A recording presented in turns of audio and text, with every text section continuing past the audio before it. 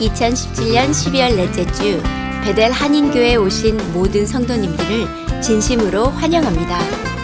새로 오신 분들은 예배 후 새가족 환영실에서 인사를 나누고 가시길 바라며 특별히 새가족을 위한 4주 과정의 새가족반을 운영하고 있으니 꼭 새가족반을 마치시고 정식 교인이 되셔서 교회의 많은 사역에 함께 동참해 주시길 바랍니다.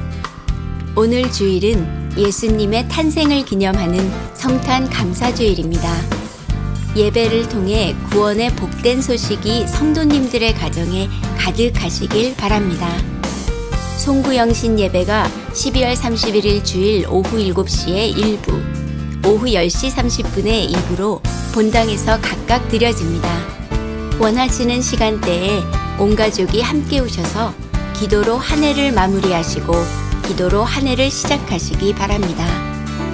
성탄 감사 가족 예배 및 어린이 뮤지컬이 내일 25일 월요일 오전 11시에 본당에서 있습니다. 구주 예수 그리스도의 탄생을 기념하며 예배하는 시간에 온 가족이 모두 함께 참여해 감사와 기쁨이 넘치는 은혜의 시간 되시길 바랍니다.